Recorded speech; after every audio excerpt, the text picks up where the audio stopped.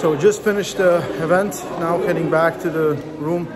Devon Larratt, again, number one, first double champ of East versus West.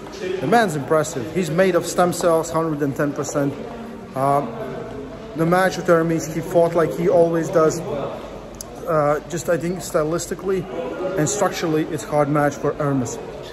As soon as the strap got on Devon's hand, it was just too much and too easy. Uh, yeah, I'll try to get a little interview with him as well, but uh, what a night. Uh, let me know, did you enjoy East versus West 9? Uh, I think this was probably one of the best cards in recently, definitely, but I think also of, uh, of East versus West.